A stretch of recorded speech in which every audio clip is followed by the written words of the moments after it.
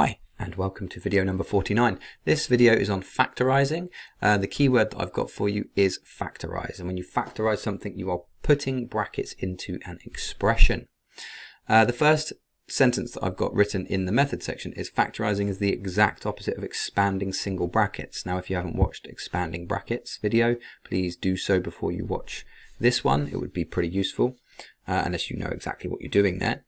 Um, and then the first step of the method that I've, I've written is to find the highest common factor of the numbers and or letters. That's what the first thing that you is that you need to do. Find the highest common factor. Now again, if you don't know what the highest common factor is, please watch that video in the number section. Put whatever that is on the outside of a bracket. So whatever you find that to be, that goes on the outside of a bracket. And then put the terms inside the brackets. You have to figure out what they are that are needed so that you could multiply them out to make the original expression. Right? So it seems like quite a complicated thing to understand if you don't see it in action. So I will show you in the first question and you'll, you'll see actually it's a relatively simple thing to do for questions like this one, number 1a. So we've got 2x and plus 10. So we've got a 2 that can come out because 2 is the highest common factor of 2 and 10. Okay? Um, 2 fits into 2 and 2 fits into 10. It is the biggest number that does so. You can't take anything else out because this term's got an x in it and this hasn't. Alright, so you open up your bracket and then you pop in an x.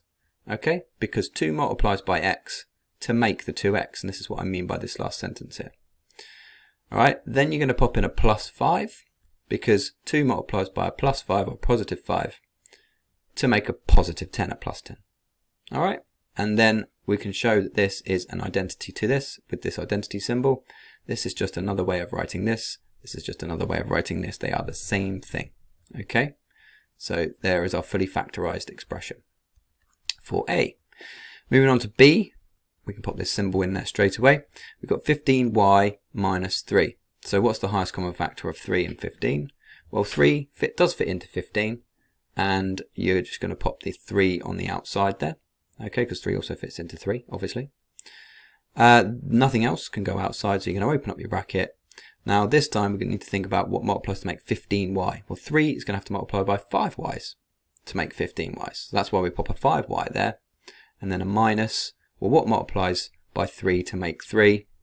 1 does. Right? So it's a minus 1 that goes in the bracket. So it's a little bit more complicated because you've got the negative, you've got the 15y's here.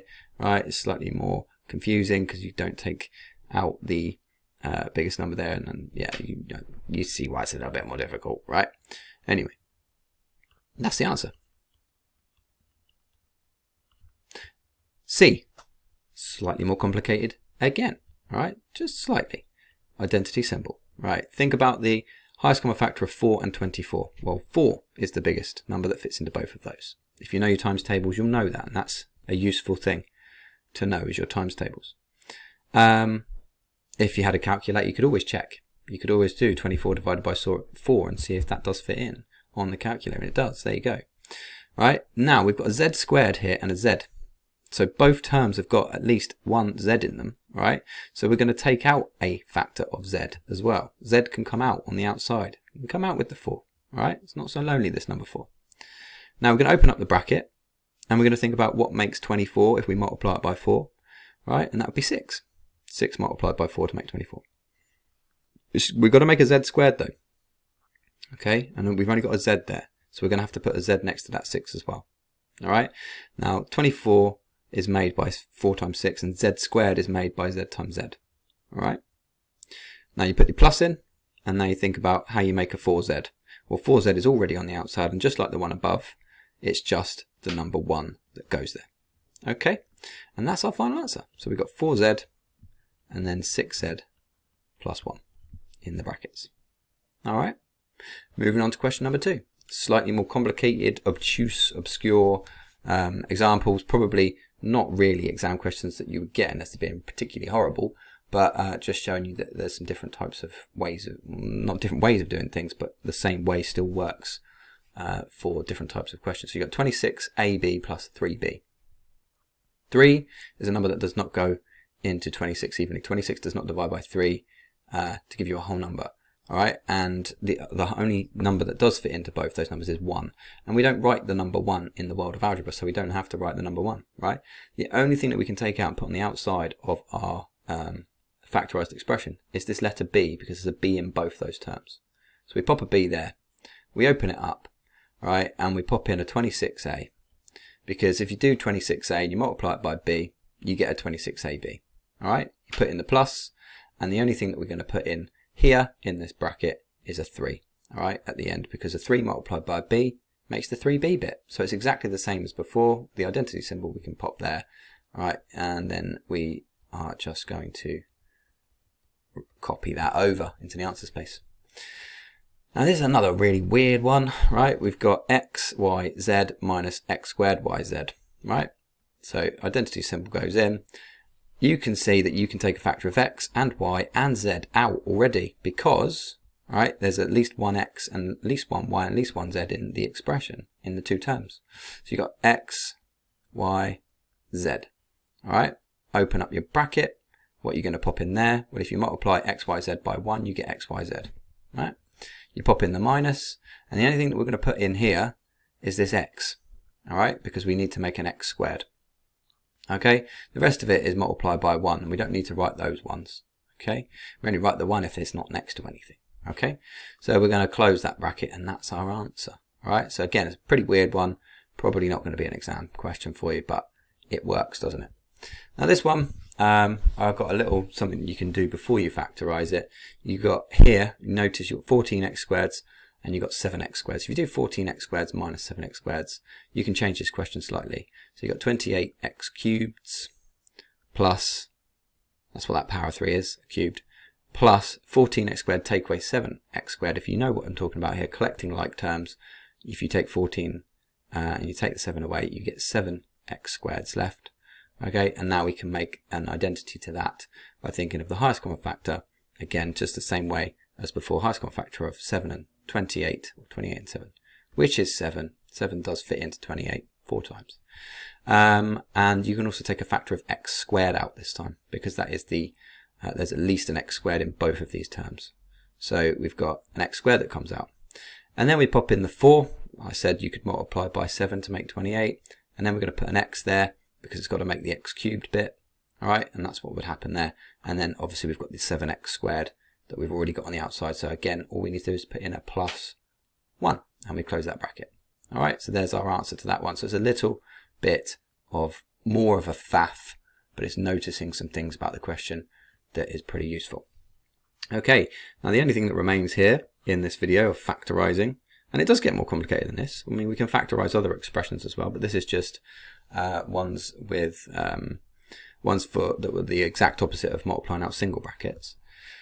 In question 3 I've got Tammy, and Tammy is attempting to fully factorise the expression 34p minus 4p. Her answer below is, or her answer is below.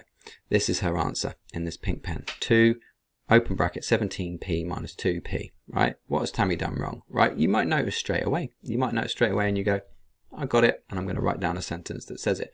Or you could just do the question and figure out where she's gone wrong, right? If you're confident in your ability to do these, you could do the question yourself. So the highest common factor, yeah, it is 2, all right? You can't take a factor of 2 out. 4 doesn't fit into 34, but 2 does, all right? So she takes 2 out, okay? And then uh, what, what else can she take out? She can take out this factor of p. And you notice there that she didn't do that, okay? So already we've found the answer to the question, but let's just finish off uh, and just make sure there's nothing else that she's done wrong. So 2p, and then uh, if we multiply by 17p, so 2 lots of 17 is um, 34. That works. Okay, and then p times p makes the um, p squared bit, which uh, it isn't, is it? So we don't need a p there. All right, and then we've got so we've got the p on the outside. That's good. And then we've got the minus, and then what do we need on the inside? Well, she got 2p, right? Well, if we put 2p in, do we need 2p? 2p multiplied by 2p is 4p squared, and that's not right. We don't want that p in there. That will give us our 4p bit, so we're going to close our bracket. So that's what she did wrong. She didn't take out the factor of p. That's the only thing she did wrong. So she did not take out the factor Or something similar to, similar to that effect would get you the marks on that question. All right. Now I do appreciate that this is something that's going to take you a little bit of practice. All right. And I'll pop in some uh, questions into the description, link in the description, uh, and they'll be similar to these. I mean, these are more of the exam style questions that you'll get if they're being nice. So you could get something like this one in C.